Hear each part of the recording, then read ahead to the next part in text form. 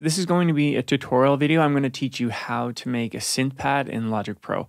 I have a song here called Holding Back, and I want to talk about where you can find synth pads in Logic Pro, like the free ones, the stock ones, and uh, I'll show you some of the paid VSTs I'm using that I, I recommend as well. You know, when you're creating a song and the main instrument just sounds so empty, maybe in your verses, it just sounds a bit too bare, a bit too empty using a synth pad, a very subtle synth pad, can really bring a lot of depth and width to your song, making it sound much bigger than it actually is.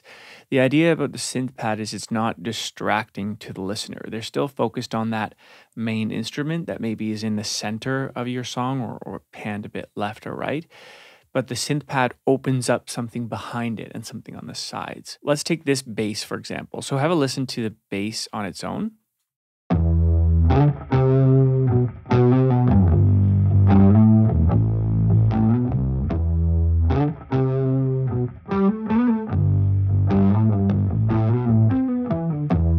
Now let's add this distorted pad, kind of mellotron pad. So this is what this sounds like.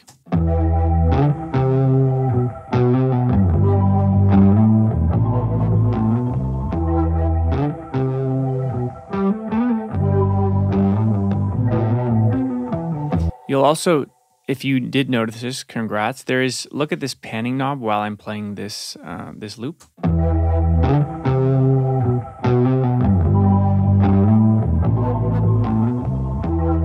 It's being automated a bit right, a bit left, and it's kind of swinging back and forth giving the listener some interesting bits that this pad in the background is moving around. And that helps a lot to create a cool space in the background. Let's first touch on how to add synth pads with the free stock instruments in Logic Pro. So you would go to track, new software instrument, and open up the library. And inside Logic, it's all organized nicely. The pads are under synthesizer, pad. It has a nice label. And you can see there's a lot of a lot of results here. If you have a sound that you like, but it's just not it's not there yet, you might want to edit it a bit. You can always do so by opening up the instrument. This is the ES2 synth in Logic. You can click on the middle, and this opens up the synthesizer, or you can go to presets inside the synthesizer, like synth pads. Here are all the synth pads in the ES2 synth. And these are the dials of a modular synthesizer where you can go and change the dials. You don't have to do any of this. It's just if you want to edit a little bit. And, uh, and in the next section, I'm going to talk about what things you might want to edit within a synthesizer, a synth pad specifically. So that's where the free synth pads are in Logic. I'll show you what I use for paid synths. There are a few different ones I use. Um, I'll add uh, a new a software instrument. I'll show you how I find them. I just go to the empty instrument plugin block. I click it, and then I go down to my AU instruments. So I've been using a lot the Arturia Lab package. It's the Arturia Lab 5 package. These are just, these here are all synthesizers, sorry, all here, modeled after popular synths. For example, the Juno 6 is, Juno 6.5 is modeled after the Juno 6. So, but the Analog Lab V package, quickly I'll go through this because I know not everyone has it. It looks, it looks like a library of sounds. You can also go to the category of pad and go through these pads here. Same thing, just like in Logic, if you want to go and edit the pad, you can open up the instrument. For example, this Venus Rising strings pad is from the Juno 6, and then we can go and edit the Juno 6 pad. What sounds should you look for when you're looking for a Juno pad? And here's what I recommend, especially when it's going to be that underlaying instrument behind your main instrument, for example, in our case, the bass track, make sure that it's a pad that it's not too distracting so it doesn't take away from the bass, that it can just kind of fit in below the track. That's why they call it a pad. It's just padded in there nicely. Let's go through a couple synths and I'll explain if I think that's a right fit versus if it's not a right fit. So for, for example, this Venus Rising synth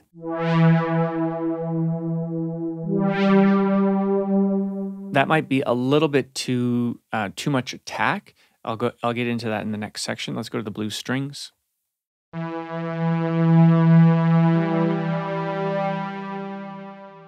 That's not bad. It just didn't really jump out at me. Let's go sweep and let's then do Tokyo Dreams. I think that's the right texture and volume, but it's just not the right sound in terms of production wise that I'm looking for in this song. Tokyo Dreams. That's that's kind of cool. That might work as well. See, they're all all similar in a way. They're not too too distracting because I'm in the pad category. Now, what do you actually play with your synth pad, right? Do you just play the chords of your chord progression? Yes, you can, but no, you don't have to. Sometimes when you play the all the notes and the chords, it just sounds too stock. So what I would recommend is um, if you don't know a lot about music theory, lay down the chords of your song and then get into the MIDI editor and start playing around, taking some notes out. I often find that less notes with a pad sound better because it just doesn't sound as busy. You can also add notes, but be careful if you're going to add notes and take away notes, make sure that those notes are in the scale. And one thing you can do to make sure of that is you can actually go to scale quantize here and you can change the the key of your song. So if you know you're in uh, like natural minor, like a G natural minor, and you change your tool to a paintbrush tool, now if I hold command, I get my paintbrush tool. I can only click um, notes that are in the scale. See, for example, I'll zoom in to show you. You see this note here? I can't actually, if I hold my paintbrush tool, I can't click and put a MIDI note in there because it's not in the scale of G minor. So let's move back out of that. The other alternative you can do is you can just play the root notes of your chord progression. So if you are an E, G, C, you can just play the E note, the G note, and, and sorry, and the C note. That's an option as well, and a very popular option. You could also play the third of that, just the one and the third, three, sorry, or the one and the five of the chords. That's another option as well. Now, let's say you have a sound of a synth, whether it's paid or the free ones in Logic, and you're looking to edit that sound. What things can you edit inside that big modular synth? So let's pull that up. It was the Eighth Wonder. And let's open up our ES2. I'm not going to go through everything. That would be nuts. And I don't, honestly, I don't know how to work all of this um, either. But a couple things that are going to make a big difference. Let's go through them. So, one would be just to know what oscillators are and why you might want to turn them on or off in the shapes of the oscillators.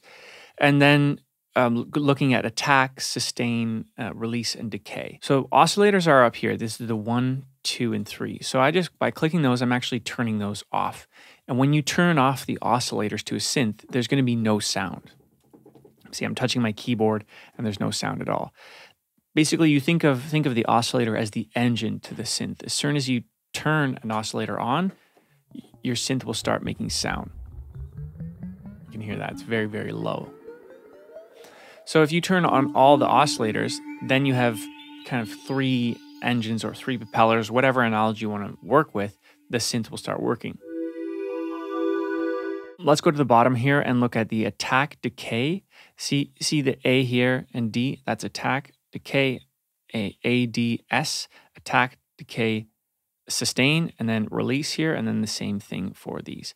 Same thing goes for any paid synth. If I go back to the analog lab here and open up like the Venus Rising synth in the Juno synth, you'll notice there is uh, where the attack, decay, sustain, release, all these knobs here. Let me know if that was value to you in a comment, please. Here's a video of me and my last show playing live. I'm going to be posting a few different variety of videos this year tutorials me playing live cover songs reviews comparisons this kind of thing all centered around music. So as always thanks for watching and i'll see you in the next video. Well